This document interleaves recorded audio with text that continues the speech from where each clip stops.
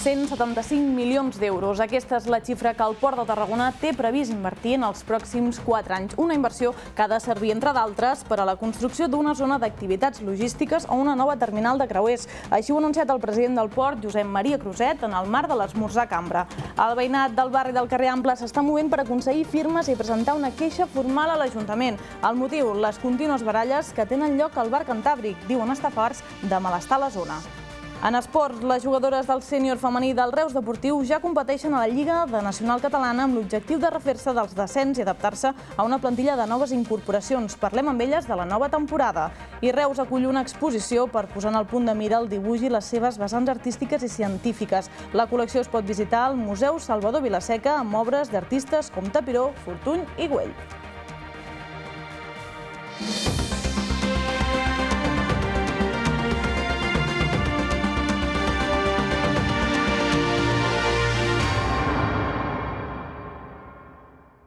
Bona nit i benvinguts al Notícies. El president del Port de Tarragona, Josep Maria Cruzet, ha estat aquest matí el protagonista de l'esmorzar cambra amb una ponència d'allò més positiva sobre les inversions de futur d'una de les infraestructures més potents del Camp de Tarragona. En aquest sentit, el president ha assegurat que el port invertirà un total de 175 milions d'euros durant els pròxims 4 anys invertir al Port de Tarragona per generar riquesa a la resta del territori. Aquest és l'objectiu sobre el qual treballa Josep Maria Cruzet des que el passat novembre del 2018 es va ficar al capdavant d'una de les infraestructures més potents del territori català.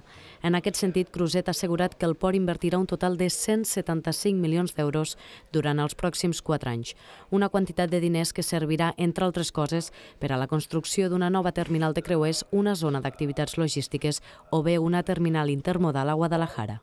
El primer que hi veurem és eh, la terminal de creuers, precisament, que estem a punt d'iniciar la licitació i que, per tant, les obres les veurem a curt, a curt termini.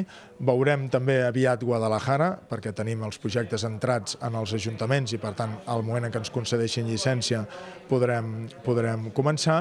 I eh, veurem alguna petita inversió en el moll de costa de, de Tarragona, en el museu del port, en què hi fem una rehabilitació durant eh, l'any vinent per tal de modernitzar-lo i tornar-lo a posar en allò que els ciutadans compten trobar quan arriben a un museu.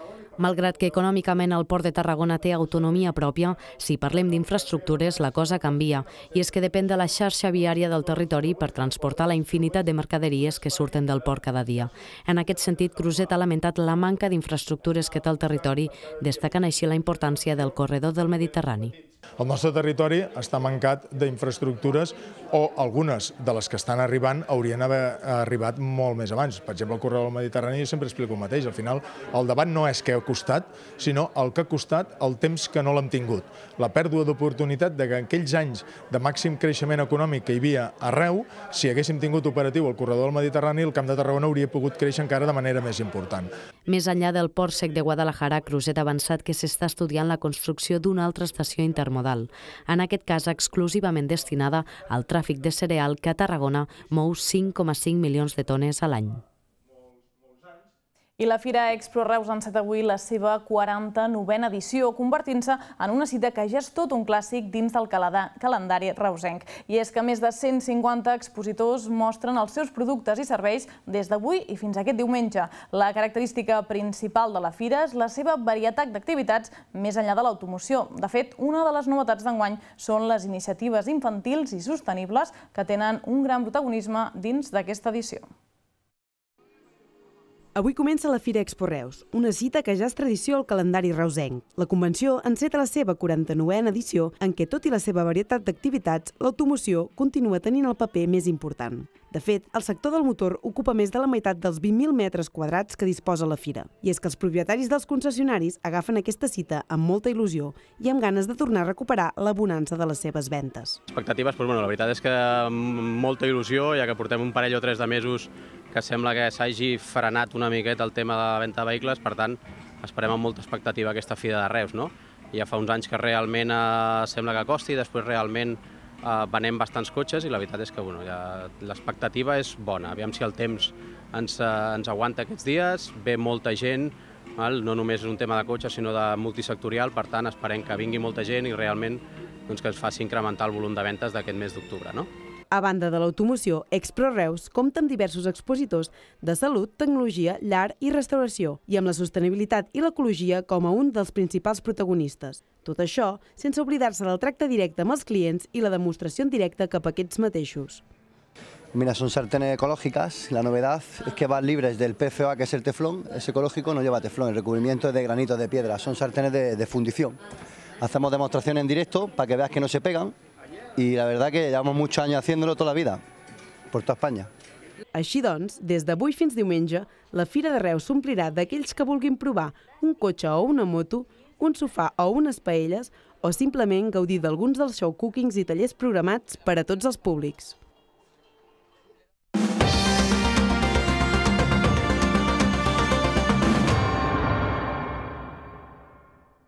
I avui a l'espai de l'entrevista volem mirar cap a la política municipal de Reus. Tenim amb nosaltres el portaveu del Partit Socialista a Reus, Andreu Martín. Bona nit. Bona nit. Gràcies per acompanyar-nos. Encantat de ser amb vosaltres.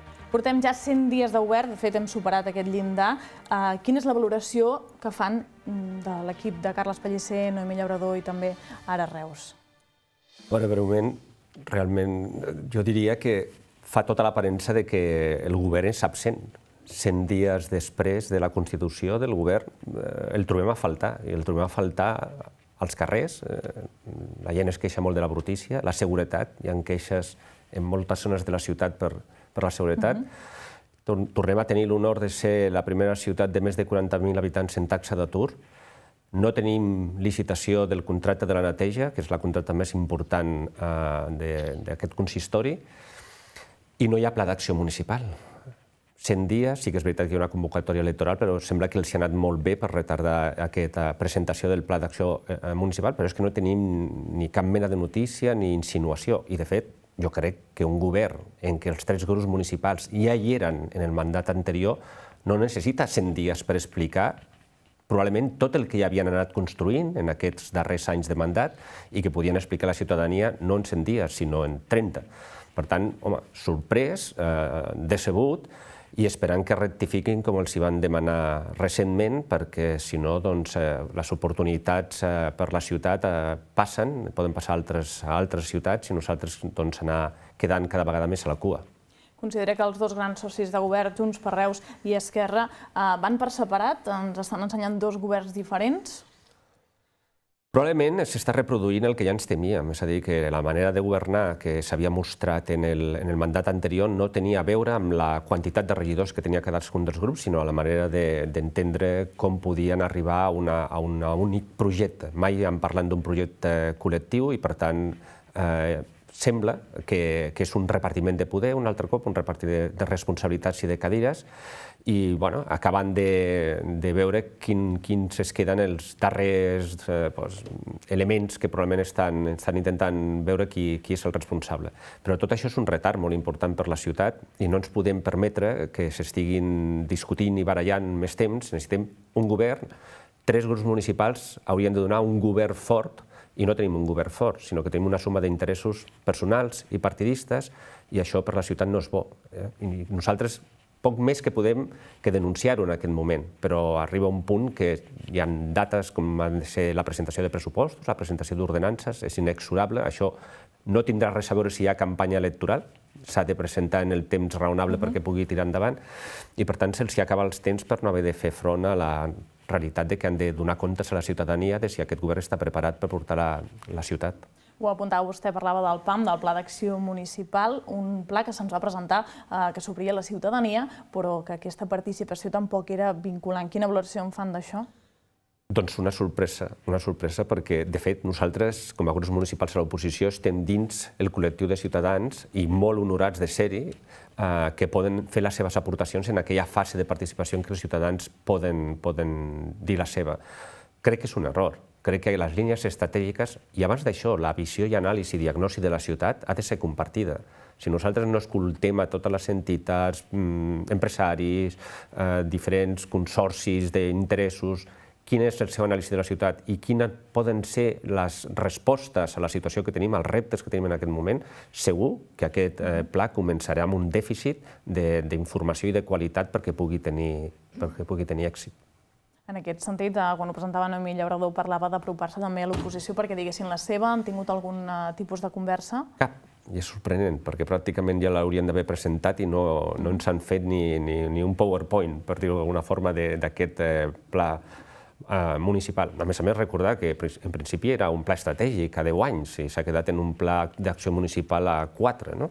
i vinculat, doncs, suposo que aquest, eh, al final a un pla de govern. Per tant, realment estem rebaixant molt les expectatives. Eh, és, Reus necessitava un govern fort, però és que no és només un govern fort el que té més eh, regidors que els 14 imprescindibles per tenir majories absolutes, sinó que és un govern que té les idees clares, que coneix la ciutat, que coneix les prioritats de la gent, no les seves, ni del seu partit, ni de la conjuntura en qualsevol altre àmbit que no sigui el de la ciutat, la dels ciutadans. I jo crec que aquest govern es, comença donant l'esquena a la ciutadania, com a mínim no s'ha apropat a la ciutadania per saber d'ells, i això és un mal, pont, un mal punt de partida que pot ser difícil de rectificar en aquests quatre anys. Però, clar, si la voluntat és simplement de ser-hi en les cadires, d'ocupar el poder i de tenir les màximes oportunitats d'influir en allò que els interessa particularment, potser és bo per ells, però per la ciutat no ho serà. Vostè parlava de problemàtiques amb la brossa, amb queixes per seguretat. Quina creu, però, que és la prioritat a solucionar la ciutat ara mateix? La ciutat porta més de dos anys amb, el, eh, amb la licitació de la brossa ja eh, caducada. Per tant, estem amb uns equipaments i amb uns materials que no són capaços de complir el requeriment de qualitat que té i això es veu al carrer, els carrers estan bruts. Per tant, és imprescindible, més enllà del pla d'acció municipal i més enllà dels pressupostos, que aquesta licitació com a mínim se'ns presenti, perquè tampoc la coneixem. I que sigui de la qualitat que necessita la ciutat. No és una qüestió de que sigui ni barata ni cara. El que és important és que sigui capaç de fer allò que els ciutadans necessitem i volem, perquè aquesta ciutat ha de ser turística, aquesta ciutat ha de ser comercial, aquesta ciutat ha de ser lloc d'oportunitats. Sense una ciutat endreçadeta, això no és viable. Mm, I hi ha elements molt importants, com és el tema dels compromisos que ha fet el govern.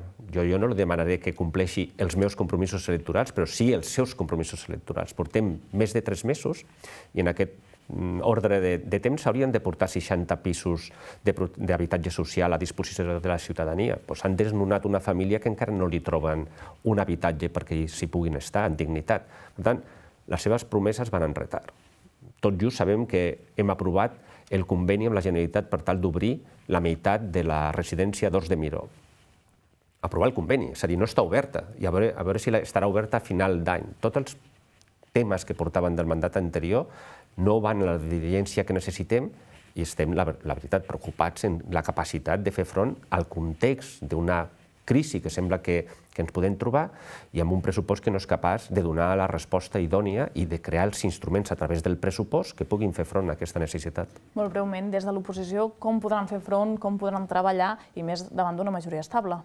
Nosaltres, en la influència que puguem tenir, farem tot allò que sigui possible. Ens consta que, per exemple, el centre de lectura estava fent la, estava, està en un projecte d'ampliació. Doncs nosaltres hem intentat i hem fet que el ministre de Cultura vingui a Reus, conegui el, de primera mà el projecte del centre de lectura d'ampliació i, per tant, que pugui ser eh, doncs, una qüestió coneguda en el cas de que el centre de lectura vulgui presentar una petició de subvenció cap al Ministeri de Cultura en la mesura que nosaltres puguem influir per les infraestructures, que ara parlava del dèficit que hi ha el, en, les notícies anteriors el president del port de Tarragona. No, això és molt important. No es pode, el port és un bon port, però en aquest moment està pràcticament aïllat del territori, i el territori vol dir Europa. Això és un problema pel desenvolupament de les iniciatives. El tema d'infraestructures és molt important. Jo encara no sé com ho tenen pel tema de l'estació d'intermodal, pel tema de la baixada de Bellicens o pel tema del corredor del Mediterrani, com, com ho farem. I el mateix aeroport de Reus. Tenim una altra infraestructura molt important, l'aeroport de Reus. Sembla que no en parlem ni, ni tinguem ambició perquè sigui la nostra porta de sortida i la nostra porta d'entrada.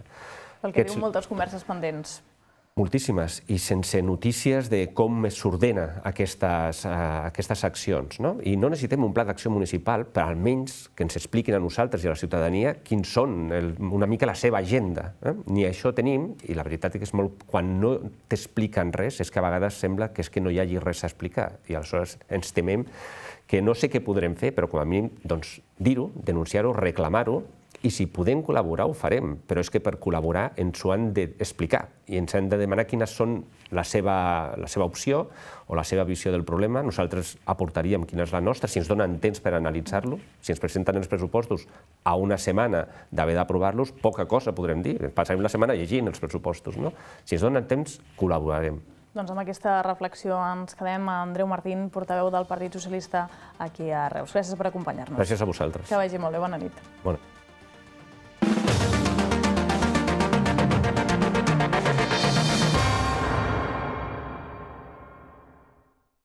Els veïns del carrer Ample de Reus han presentat aquest dijous al migdia un centenar de signatures contra les reiterades baralles que tenen lloc a l'inici del carrer. Segons expliquen alguns veïns de la zona, el bar Cantàbric és l'escenari de trifulques violentes que obliguen la policia a desplegar-se de forma imponent. N'estan tips de la situació en un barri que es considera familiar i tranquil. Segons ha pogut saber que en el Reus, botiguers, veïns i associacions del barri s'han unit per reclamar una solució davant la situació que es genera, diuen, dia sí, dia també. Segons expliquen aquest mitjà, veïns de la zona, de matinada, davant el bar Cantàbric, s'hi repeteixen episodis de violència, baralles, amenaces i incivisme. Un testimoni assegura que les disputes acaben amb les marquesines de l'establiment situades al carrer convertides en arma llancívola. Els Mossos d'Esquadra i la Guàrdia Urbana s'hi presenten sovint i tallen el carrer, el que provoca que els vehicles dels clients dels establiments del barri no hi puguin accedir. Per tot plegat, els botiguers asseguren que perden clients i que també es perd el clima de convivència i serenitat que impera la zona. El darrer episodi d'aquestes característiques, i diuen els testimonis un dels més espectaculars, es va viure aquest passat dissabte. Asseguren els veïns que es tracta de persones begudes que van a fer la darrera copa al bar Cantàbric i que allà comencen les discussions. Aquest dijous al migdia han presentat un centenar de signatures a l'Ajuntament perquè la queixa arribi a l'alcalde. A tot això, el govern municipal confirma la recepció de les signatures i comparteix la inquietud dels veïns. Fons del consistori asseguren que s'està treballant a favor del civisme, la convivència i la seguretat i lamenten els fets. Segons diuen les mateixes fonts, la Guàrdia Urbana és conscient de la situació i la zona està inclosa en el dispositiu de seguretat i control de l'oci nocturn. I amb aquesta informació arriba el moment de fer una pausa per a la publicitat. De seguida tornem amb més notícies dels esports i la cultura. Fins ara.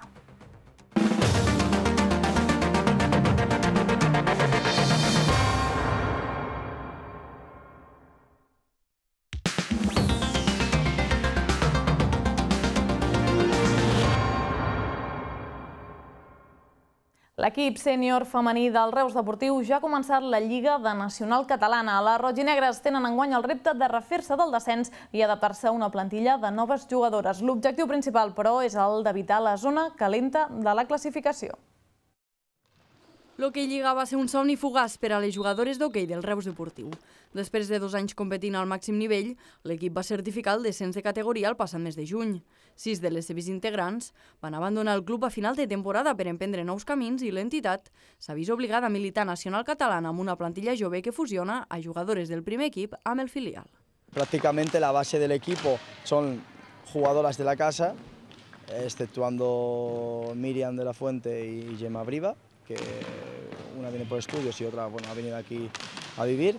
Eh, el resto son de aquí de Reus. Eh, aparte, en la dinámica del primer equipo están cuatro jugadoras del FEN 17, eh, vienen a apoyarnos jugadoras del FEN 15. Lo que queremos es sacar más Helenas de Sibate o jugadoras mejores que Helenas de Sibate y mucho más completas para que se queden aquí en Reus. Enguany, l'equip ha disputat quatre partits en competició regular, sumant tres derrotes i una victòria. Els tres punts situen, doncs, el Reus Deportiu, últim a la classificació del grup A de la Lliga de Plata.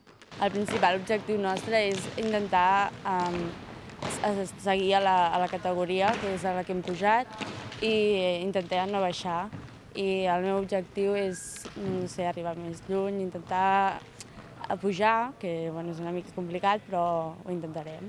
L'hoquei femení es troba al cim de la història del Club Roig i Negre. Actualment, quatre equips vesteixen l'elàstica ganxeta, el FEM 13, el FEM 15, el FEM 17 i l'equip sènior, un fet que no havia passat mai fins al moment. I l'Associació Esportiva Pare Manyanet i l'Ajuntament de Reus organitzen el quart trofeu Ciutat de Reus de Gimnàstica Rítmica. El certamen tindrà lloc al cap de setmana al pavelló olímpic on hi participaran un miler de gimnastes de 46 clubs de l'estat espanyol. Com a novetat d'enguany s'ha incorporat una vessant solidària amb la col·laboració de la Càtedra de Dolor Infantil de la Universitat Rovira i Virgili. Combinar una activitat esportiva amb un ambient lúdic. Aquest és un dels principals objectius del Trofeu Ciutat de Reus de Gimnàstica Rítmica que se celebrarà a la capital del Baix Camp el proper cap de setmana. El pavelló olímpic tornarà a ser l'escenari d'aquesta quarta edició del certamen esportiu que es planteja com una consolidació d'una competició de referència a l'estat espanyol. Fins a vuit comunitats autònomes es veuran representades en el torneig on hi participaran un miler de gimnastes de 46 clubs diferents. La feina de la secció de rítmica del Pare Manyanet s'està veient reconeguda de la millor forma possible possible, que és amb la participació massiva de gimnastes en una competició no oficial que ofereix un escenari ideal perquè les esportistes puguin realitzar el seu exercici fora de la pressió que suposen les competicions federades oficials. La secció de gimnàstica rítmica de l'Associació Esportiva Pare Manyanet és qui organitza aquest esdeveniment esportiu que enguany ha volgut ficar l'èmfasi amb la solidaritat a través de la col·laboració amb la Càtedra de Dolor Infantil de la URB, Fundació Grunental del doctor Miró. El torneig comptarà amb l'assistència d'unes 3.000 persones. Aquest any participa amb nosaltres el tema solidari, amb la Càtedra del Dolor Infantil. És una càtedra que nosaltres personalment ens hem implicat molt i que estarà molt present la, al nostre trofeu Eh, estem intentant ajudar a que les famílies que estan patint el dolor amb els seus fills puguin tenir l'ajuda i tenir una, una unitat de, de dolor infantil aquí a Reus. És aquest el treball que s'està intentant fent amb aquesta ajuda solidària. Per altra banda, el diumenge se celebrarà també al pavelló olímpic la segona fase de la Copa Catalana de Conjunts de Tardor, organitzada per la Federació Catalana de Gimnàstica Rítmica i l'Associació Esportiva Pare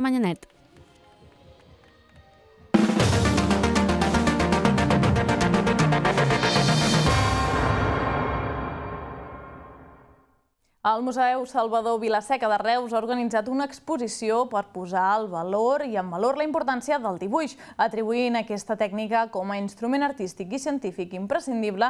La col·lecció és un conjunt d'obres molt diverses amb peces de Tapiró, Fortuny o Hortensi Güell. Sota el nom negre sobre blanc, el Museu Salvador Vilaseca ha volgut fer un recull d'obres de diversos autors amb un fil conductor en comú, el dibuix. Aquesta tècnica es considera un llenguatge universal i la seva simplicitat d'execució fa que sigui una eina idònia per poder seguir la velocitat amb què el cervell genera idees. El dibuix ha estat sempre un instrument imprescindible i un mitjà d'expressió escrita. La seva senzillesa fa que, avui dia, el dibuix encara no sigui valorat com una tècnica de primer rang, un fet que aquesta exposició vol reivindicar. És una tècnica que durant molt de temps ha estat eh, subsidiària de, de les grans tècniques, és a dir, del dibuix, de, eh, perdó, de, de la pintura i de l'escultura, i per tant eh, posar en valor en la mesura que és la manera més ràpida de connectar el cervell amb el, en el paper. En l'escriptura hi, ha, hi ha un codi previ que has d'aprendre, en altres tècniques hi ha elements que fan de filtre i que per tant no eh, trenquen aquest, aquest camí directe. En canvi amb el dibuix pràcticament és, és, la, és la immediatesa. L'exposició va mostrar els diferents usos i funcions que ha tingut aquesta tècnica al llarg de la nostra història i per part d'artistes i artesans recents del nostre territori. La col·lecció és una selecció de prop de 200 peces propietat del museu, on s'hi podran veure acadèmies, dissenys, retrats o esbossos d'artistes de la talla de Gaudí, Ramon Casa o Joan Rebull, entre d'altres. Eh, imaginem que avui per avui ens és molt fàcil entendre que eh, podem explicar, podem representar les figures de forma tridimensional o que tenim l'eina de la fotografia com una, com una eina estupenda de treball, però pensem que no sempre hi ha estat. I, per tant, eh, en el moment en què probablement apareixen algunes d'aquestes figures com mecanismes eh, útils, acaba desapareixent el dibuix. Doncs no és així. El dibuix continua formant part de, la, de les necessitats de l'artista justament per això, perquè és la, la millor manera de plasmar allò que és el, el pensament abstracte. L'exposició es podrà visitar fins al proper mes de maig i durant la seva obertura s'oferiran visites guiades, tallers i altres mostres de petit format lligades amb el dibuix i aquesta col·lecció. I amb el món de l'art posem el punt i final a l'informatiu. Nosaltres hi tornem demà a partir de les dues del migdia. Fins llavors, ja saben, poden ser informats a través de la nostra pàgina web, canalreustv.cat i també les nostres xarxes socials. Que passin una molt bona nit. Repsol t'ofereix el temps.